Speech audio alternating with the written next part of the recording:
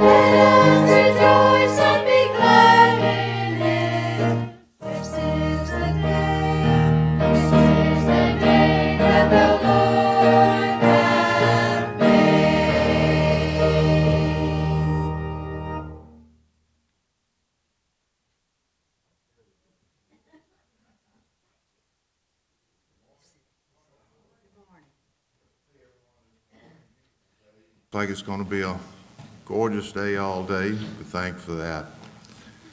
Um, And our uh, announcements today, don't forget now, today, 12:30, following service at Oakland, we will have a welcome luncheon for Reverend Phil and Leanne. Uh, Be sure and attend. It's going to be a lot of good food, good fellowship. And then also Monday, Wednesday, Friday, we have the chair aerobics here in the fellowship hall. Are there any other announcements this morning?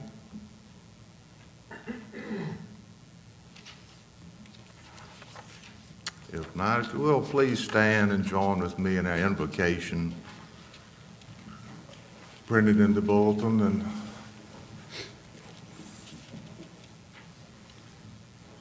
O Lord, our Lord, you are the creator and sustainer of us all. Today we want to worship you with gladness and come into your presence with singing. We invoke your presence among us today so that no one who leaves this place will leave without a deep assurance of your love, without the strong confidence of your faithfulness, without a fresh and full commitment to live by your power and for your glory. Amen. Now, if you will, let's turn in your hymnal to page 374 and we'll join together in the hymn Standing on the Promises.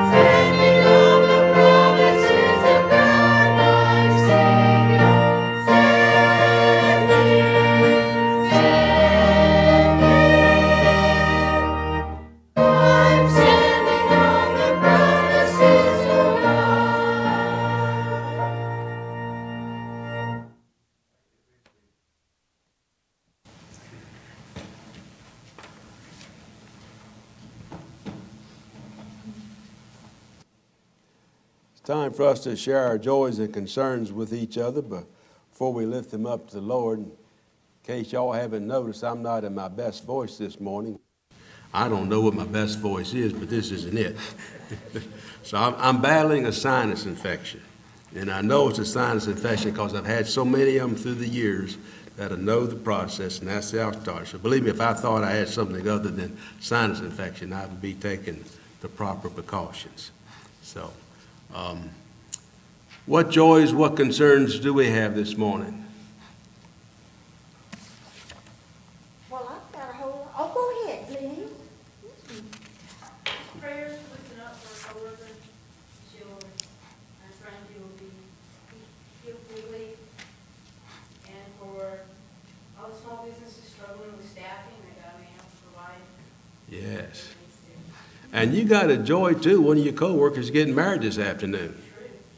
That might be a joy and a concern, we'll just have to. Yeah, up prayers that those two, they do walk with Christ and that they may continue to do so many years, just like many of y'all have. and, you Yes. know. And another joy, your mother's doing better. So the trip to the doctor and the prayers have worked, so. Somebody else, I saw a hand up back there. I have a good golfing friend, his name is Bill Davidson. Bill was diagnosed with pancreatic cancer. It sounds like it's spread to pretty much every moving part. So I think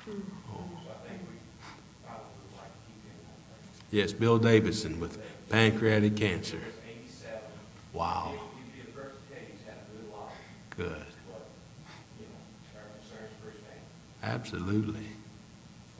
And there were some folks in the back here? It's a great joy to see Andy back there this morning. Hi, Andy. We are so happy to have him back with us. After a, a good spell, we've missed him so much. Pat Rigsby had a member of her family pass away this week with COVID, so we want to keep uh, the Rigsby family in our prayers. Most all of you who are old residents of the Forest area know Louise Russell, 104 years old, passed away last night. She was actually, Sam Walkup's wife, Nancy, was her mother-in-law, uh, her first husband's mother, Buddy Russell's mother. But anyway, she's, we say Mama will be really jealous. Mama didn't want anybody to get older than she was. So Oh, oh. she uh, was 104 just a couple of weeks ago. So keep that big family in your prayers. Yes, thank you. My daughter Sherry has been sick recently, she's been staying at the home since my husband died. And then she lost her best friend. Oh, She got back safely and not before last. So we'll keep Sherry in our prayers. Mary Ann Widener's sister, Coretta, who was ninety-five, passed away this week, so we want to remember her family and the Widener family. Widener family?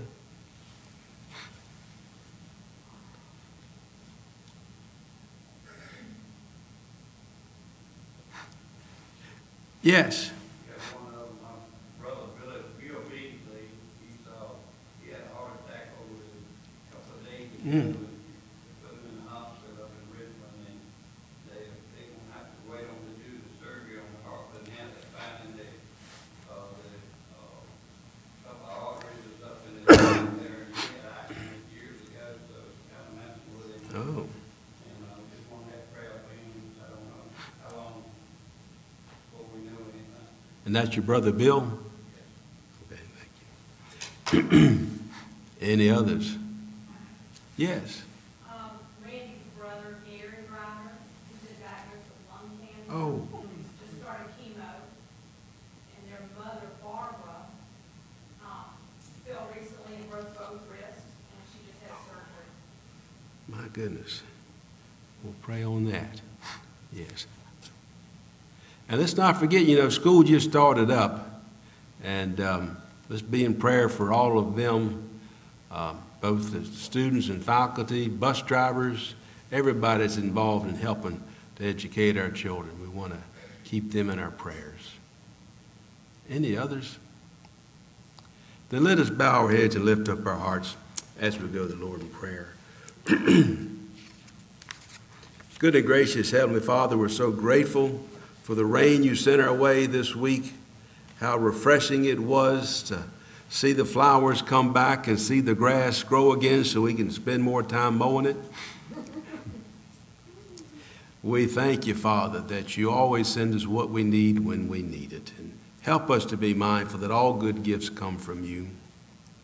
And Lord, we have many prayer concerns in our hearts this morning. There are, there are loved ones that are suffering many afflictions, but you're fully aware of all of them. Indeed, the Bible says a sparrow can't fall from to the ground without you taking notice. Certainly, someone can't fall ill with cancer or heart disease, or certainly they don't pass from this world into your arms without you being aware. Father, we we offer up prayers to them, volunteering to do our part. Help us to be mindful that sometimes we can be the answer to the prayers. And so let us always be willing to serve, Father, even when it's inconvenient, even when it's uncomfortable. We know your Holy Spirit will enable us to bring many blessings upon many people if we will but surrender our will to yours. Father, we pray for the young couple about to be joined in holy matrimony this afternoon. What a blessing it is that they will be doing that. And we pray that you bless their new life together. And just as Jesus prayed that uh, you not take us out of the world, but that you protect us from the evil of the world, Father, we pray your divine protection upon this young couple, that they will experience a lifetime of happiness and joy. And that as they grow closer to each other, they will also grow closer to you. Father, there's many things that confuse and confound us. There's many dangers and evils in this world. And sometimes we don't know which way to turn. But we do know this, that you and your holy word will see us through each and every situation that we face. And so we don't go trusting in the wisdom or the strength of human men and institutions. But our hope and trust is in you and in you alone. It's in your holy name we humbly pray. Let all God's children say, Amen.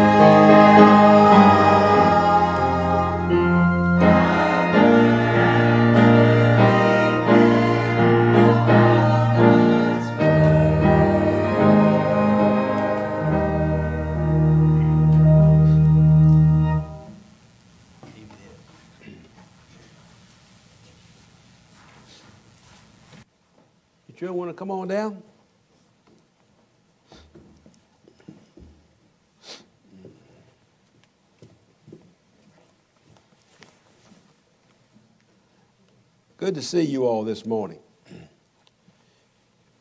Jesus said, You shall know the truth, and the truth shall make you free. So I'm going to tell you all the truth about something this morning. This children's story isn't just for you all. It's as much for these grown ups here as it is for you all. Did y'all know that? Well, you know it now. So, I got something, it's show and tell time. Do you know what these are? What are they? Helmets. What kind of helmets? Biker helmet and a biker. They're motorcycle helmets. Do you know that? This helmet here meets the minimum requirement of what the law requires if you're riding a motorcycle. You can see it's considerably different from this one, isn't it? This one here, and y'all want to put it on? Hmm? Go ahead. Now you see, you got your ears open, you can hear a whole lot better, you got much more visibility, but it's just the top of your head that's protected, isn't it? You want to put this one on?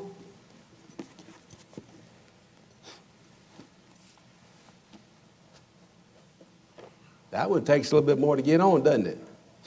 And you don't have quite the visibility. Now, you got the straps up there, but that would block your view. But there you go. Get that one down. There you Because you can't see quite as good as you could with this, could you? But let me ask you something. If you were to end up face down on the pavement, which one do you think might cause you to pick your teeth out of it more than this? This is going to be more protection, isn't it? So you can take it off if you want. It gets a little hot. You know, you do have a little thing that flips up there. These are Leanne's, by the way. She said hers are snazzier than mine. Her, her biker name is Lightning. Mine's Thunder. but now, you see, when you're wearing a motorcycle helmet, are you really, is your main purpose to um, keep from getting tickets because you got to have a helmet on to, to ride, or is the main purpose to protect you in case you're in an accident? What do you think? Well, I can tell you for yours truly here, main purpose is to protect me if I'm in an accident. Because I don't want to be picking my teeth up off the pavement. And this is much more protection. This past week, I saw um, two fathers from Maryland riding through the area, and they had their teenage children with them. One was on the back of his bike, and the other was in the sidecar. One of the fathers, one of the sidecar, had a helmet like this. The other one had one similar to this, but it was just what we call a three quarter helmet, completely open in the front. He's got some protection down on the ears. But guess what? Guess what kind of mask their children were wearing? One like this. You know what that told me? They were more concerned about protecting their children than they were themselves. But what if something happened to their daddy? Where would the children be then? It's not always about comfort or what we like, but it's about the best protection that we can get, is it not? Now, I'm going to tell you one other thing I noticed that while they were sitting at the traffic light up here in Forest, the girl on the back of the bike, she had her smartphone out and had them thumbs just to go on, you know, full blast, texting somebody. Now, I hope that was only at the stoplight, because what do you reckon would happen if they're going down the road and she's texting and her daddy has to swerve to avoid something? You're exactly right. She's going to fall off and find out how much protection that helmet is, right? Yeah. Let me show you. See this fellow up there on the screen? Y'all know who that is? You may not, because he died 20 years ago this year. That's Dale Earnhardt, the intimidator, they called him. And he died in the Daytona 500 20 years ago today. It was a really simple accident. Cars didn't get banged up that much, but he had a serious injury. And they tried to get him to wear this type of helmet device called a Hans device that would have protected him. But you know what he said? It's uncomfortable. He called it the noose. He said, This thing more likely to hang me than it is to protect me. But if Dale Earnhardt had been wearing that Hans device helmet, he'd probably still be alive today. So we cannot just look at what's most comfortable. We've got to look at what is going to protect us the most. Now, I'm going to give you one more example of how important it is that all of us are safety conscious. Several years ago, I was teaching my youngest daughter to drive. And while we were sitting in the parking lot at our house, and I was going through all the safety precautions and how important it was that she, you know, pay attention and, and be serious when you're behind the wheel. At that very moment, one of her friends was killed in an accident at Forest Middle School. They had driven from JF the short distance over to the middle school, and she hadn't bothered to buckle her seatbelt. And they had an accident at the middle school, and she was killed in that accident. So even something as simple as buckling your seatbelt is important. Always be safety conscious. Today we're going to hear about putting on the whole armor of God. God provides means to protect us. but it's up to us to put it on and to use it properly. Does that make sense to you all? Good. Let us pray. Will y'all repeat after me? Dear God, thank you for your divine protection. And help us, Father, to always be aware of just how precious life is. And Lord, help us to be safety conscious. And help us, Father, to model that for others. It is in Jesus' name we pray. Amen. Now, I'm not going to ask for a hug day because I'm battling this sinus infection. I don't think they're contagious, but I just want to be on the safe side, okay? All righty. Do you like those helmets? Yeah.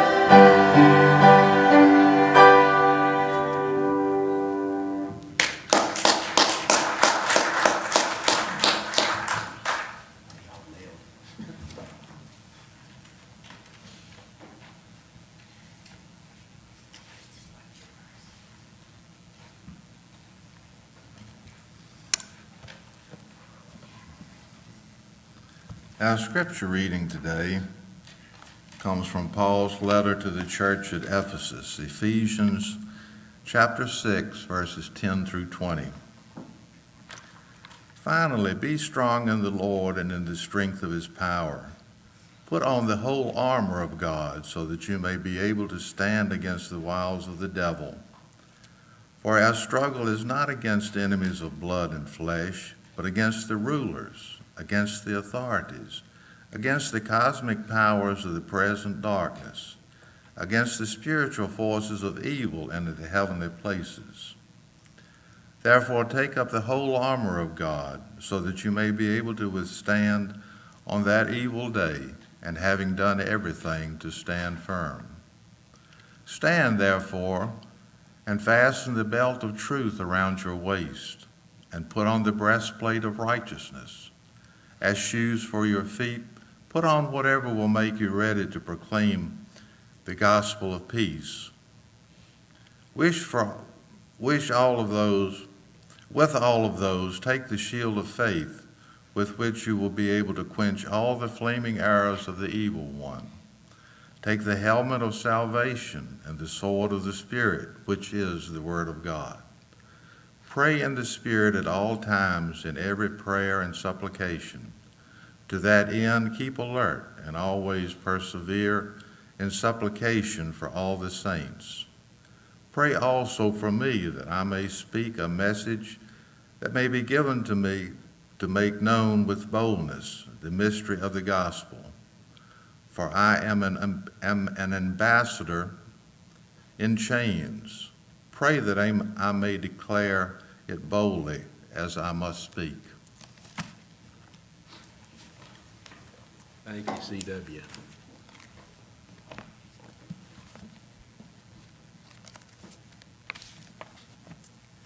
Y'all have to pardon this voice this morning.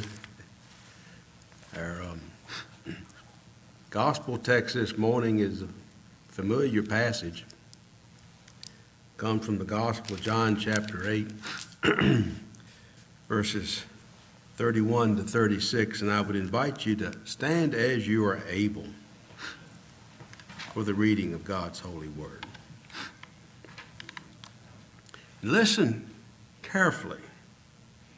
Then Jesus said to the Jews who had believed in him, If you continue in my word, you are truly my disciples, and you will know the truth, and the truth will make you free.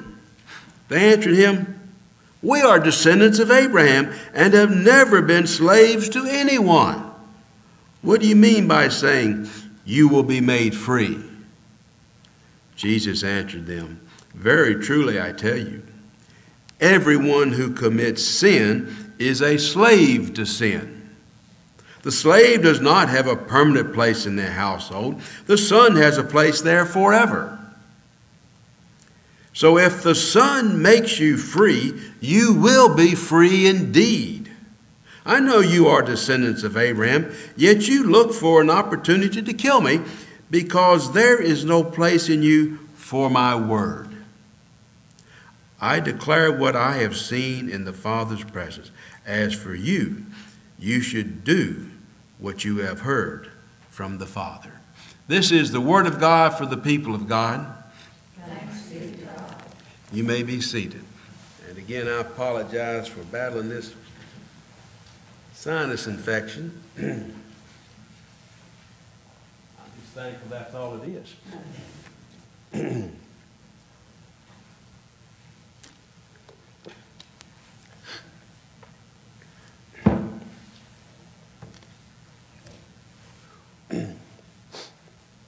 Well, me and Jesus got our own thing going. Me and Jesus got it all worked out. Me and Jesus got our own thing going. We don't need nobody to tell us what it's all about. Now, my apologies to Tom T. Hall for doing such a terrible rendition of his song. And I guess y'all know he passed away this past Friday, 85 years old. One of my favorite songwriters, the, the, the storyteller, they called him. And the inspiration for this song was a saying that his mother had. Advance the slide, there you go. The saying that his mother had, whenever time trouble come up, she said, Don't worry about it.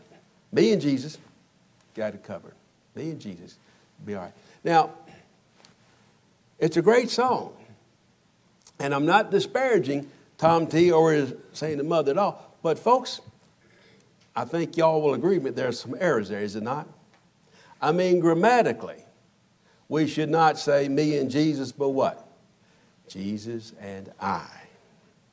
But what do you want? Good grammar or good lyrics? But also, folks, theologically, we should never put ourselves before Jesus, should we? But it should always be Jesus and I. But also, there is a sentiment that's wrapped up in saying Jesus and me, we don't need anybody else to tell us what's going on. We got it covered ourselves. Folks, that's not what the Bible says. The Bible says, in fact, that we are all part of the body of Christ. We all need each other. It's not just me and Jesus, but it's me and Jesus and all of us. We have gotten so accustomed to focusing so intently on our personal relationship with Jesus that we fail to understand that we have a corporate relationship with Jesus. We are the body of Christ, not just by ourselves, but all of us together. And this has led to a big misunderstanding when people look at putting on the full armor of God. Paul is wrapping up the letter that he wrote to the churches in Ephesus. And so this is really he's getting the main point here now. And he's telling us to put on the full armor of God. And he's using an illustration that everyone in that day would have recognized, and that is that of a Roman soldier. Everybody saw Roman soldiers, and they were very familiar with the armor that those soldiers wore. But guess what, folks? They didn't wear them alone. No. All of the soldiers wore the same armor together, and all of them together is what made them such an effective fighting force. Paul has just been telling the people how they need to be united in the Spirit so that together with the different gifts they've been given, they could build up the body of Christ. So, this concept of me and Jesus, and when we put on the armor of God, we're putting it on just for our own selves to protect ourselves. Oh, and there's only the one offensive weapon, which is the sword, right? Y'all have heard this preached before, have you not? And it's interesting, all the commentaries that I read on it talk about, you know, the only offensive piece of equipment there is the sword, and everything else is defense. Folks, I'm here to tell you, as a former soldier, the whole armor of God is for offense and defense. In fact, there's an old saying the best defense is what? A good offense. We are to put on the whole armor of God, not just protect us while we're in the sanctuary, but when we go out into the world. It's the same armor that protects those soldiers, whether they're on offense or defense. And so when we put on the whole armor of God, it is for both offense and defense. It is protect us as we do our mission. Remember when Jesus gave the Great Commission? What did he say? Did he say, stay and make disciples? He said, what? Go. That's why you need shoes on your feet so you can go. You can run barefoot if you're going to be home. How many of y'all maybe been firemen? Any former fireman here? Well, let me ask you something. What does a fireman wear when they go to put out a fire? What's it called? Turnout gear. They're, they're, it's called their turnout gear. And guess what? As conscious as they are about every second to be ready to go fight, fight a fire, They don't wear their turnout gear, gear when they're in the fire station. You don't need it when you're making chili or whatever. No, they put their turnout gear on when they go out to fight a fire. When they go on the offensive is when they put on the protection. And it's the same for us. As soldiers in the army of Christ, we put on the whole armor of God so that we are protected in our mission to go and make disciples because we're going to encounter all kinds of evil in this world. And so it's not just while we're here in the safety of the sanctuary that we need the armor of God, but when we go out into the world.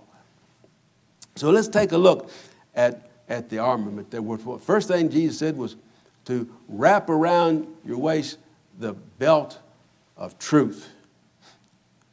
The utility belt we wore in the army is what held our 45 as an officer. It's what held our canteen with water. It's what held uh, emergency packets, the first aid kits, and a whole lot of stuff was on that utility belt.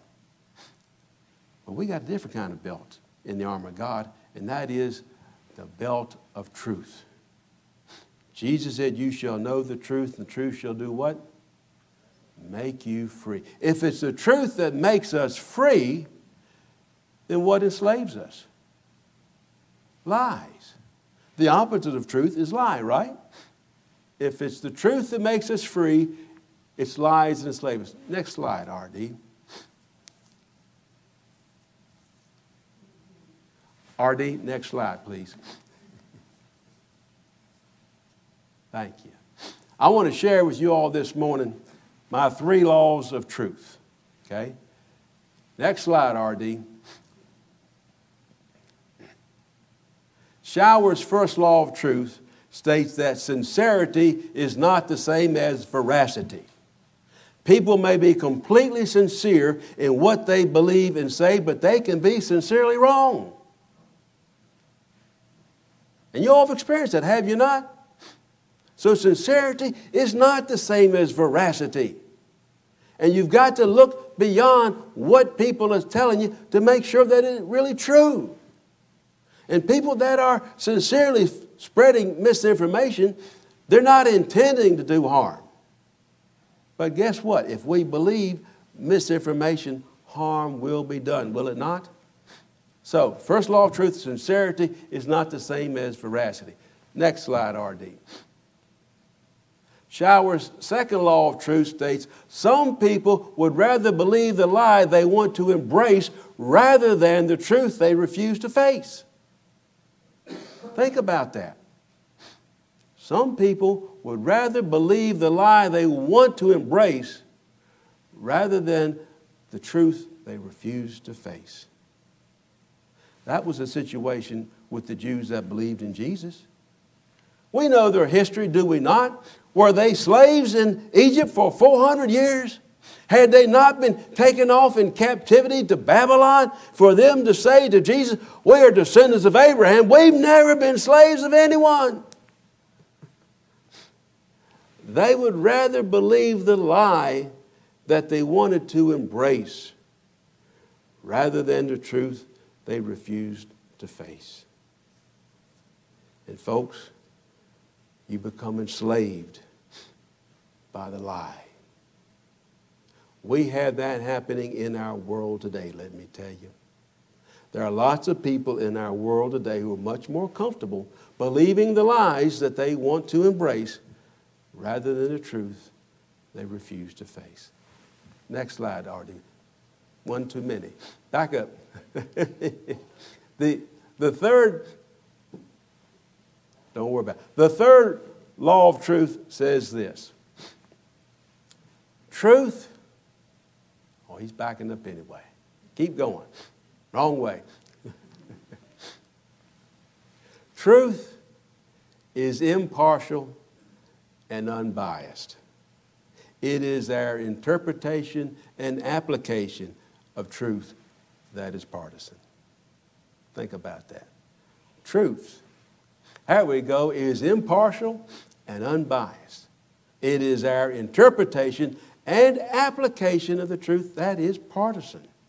One of my favorite Democrats was um, Daniel Portrick, Daniel Patrick Moynihan, who was the senior Democrat from New York at his time. And he said, everybody is entitled to their own opinion, but not their own facts. And so we need to know the difference between facts and opinion. Next slide, RD. Here we go. Now, folks, it is a fact, an indisputable fact, that the CDC has designated Bedford County a high transmission vicinity. That's a fact. There's no disputing that. But that designation is based upon an opinion. Did y'all know that? It's based upon an opinion. It's based upon a statistic that they look about how many cases per 100,000. Now, folks, I don't know if y'all are aware enough, that's not 100,000 people living in Bedford County. Right? Y'all know what Mark Twain said about lies? There's three kind of lies. There's lies, damn lies, and what? Statistics. What we need to look at are the actual numbers, not some statistic that somebody has cooked up and has come up with their own standard. We need to look at the actual numbers ourselves. And as you can see, in the last seven days, there were a total of 135 cases of COVID 19 here in Bedford County. 135. That works out to less than two people out of a thousand. Do you realize that? They're going to tell you that there's going to be, oh, 300 and some people per 100,000. But as I said, there ain't 100,000 people in Bedford County, barely 79,000. So the number of cases we have, 135, actually works out to less than two per thousand. If we could get 1,000 people in this sanctuary, which ain't going to happen, is it? Two of them would be likely to have the COVID. Now, here's something that is very significant 30% of those cases are from our schools. Did y'all know that? 30% of these 135 COVID cases, I think about 41 of them, are coming from the schools. The school system doesn't say if they're faculty or students, they just report the numbers coming from the schools. We need to take note of that. We really do. Now, of those 135, only 10 have ended up in the hospital. And there have been no deaths. Praise God for that. There have been about two deaths this summer in Bedford County from the COVID. Last one was on August the 11th. I check this stuff every day because I take it seriously. I take you all's safety very seriously. And one of my primary responsibilities is to make sure we have a safe environment for our gatherings, whether it's here in worship or at the fellowship lunch this afternoon. So I take it very seriously. And we've got our, our vision teams, we're meeting and talking about these to see if and when we need to, to modify things. You know, I got this sinus infection. If I thought I had, you know, simplest particle, I'd be wearing a mask right now to protect you all. No, we got to take it seriously. 98% of the cases and death are from people who are not fully vaccinated. 98%. Now, we're all adults here. So just like we looked at those helmets, we all need to make the decision for ourselves. What makes the most sense for keeping us safe? I'm not going to twist anybody's arm to get vaccinated. I'm not going to twist anybody's arm to, to wear, you know, a mask. Just like if I'm out riding with somebody, we don't ride anymore, but I would not put them down because they got a helmet that's going to be less safe than the one I'm wearing. We're all adults. We can make those decisions for ourselves.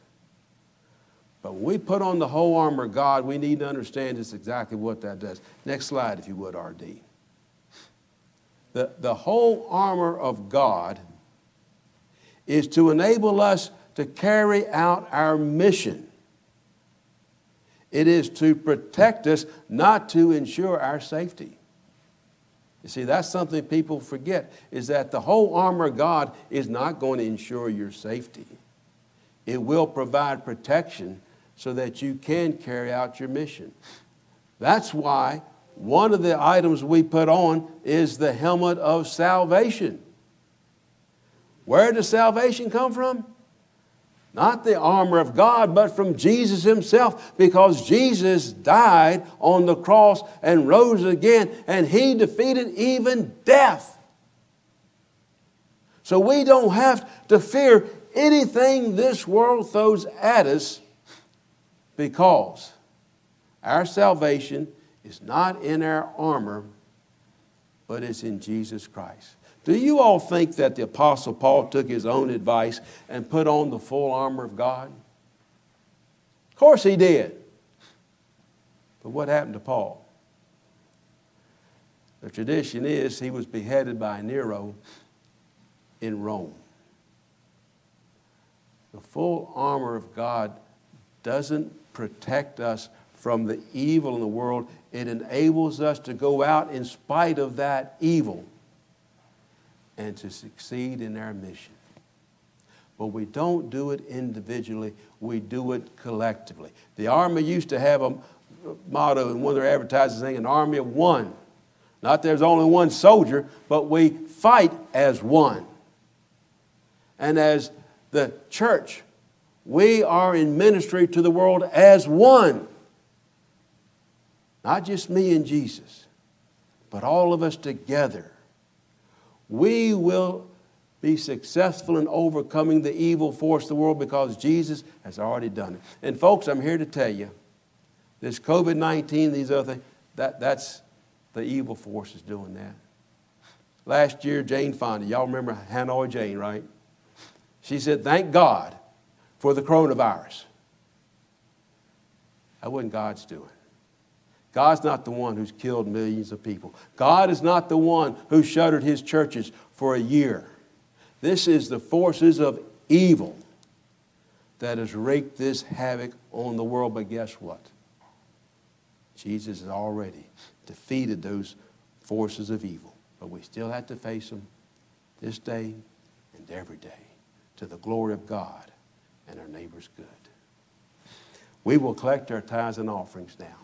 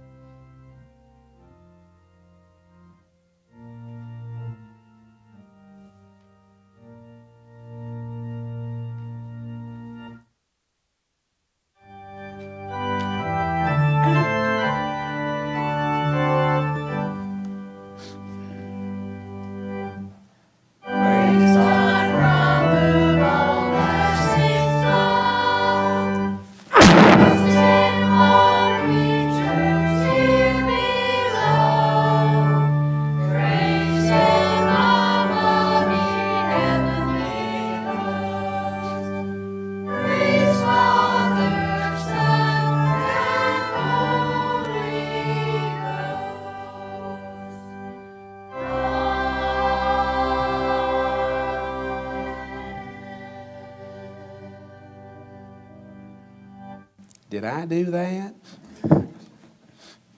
Sorry about that. Let us pray our prayer of thanksgiving together. God of power and might, through the ages you have reminded us through prophets and apostles that we are called to battle, not with one another, but against the powers of darkness and evil. It is this battle that sends children to bed with empty bellies, while others have so much food it damages them. It is this battle that imprisons those whose only crime is poverty, while those with more than they could ever spend lose sleep scheming how to get more. As we make our gifts to you this day, may we remember which side we're on. In the precious living name, loving name of Jesus, we pray. Amen. And now let us pray as our Lord taught us to pray. Our Father, who art in heaven, hallowed be thy name.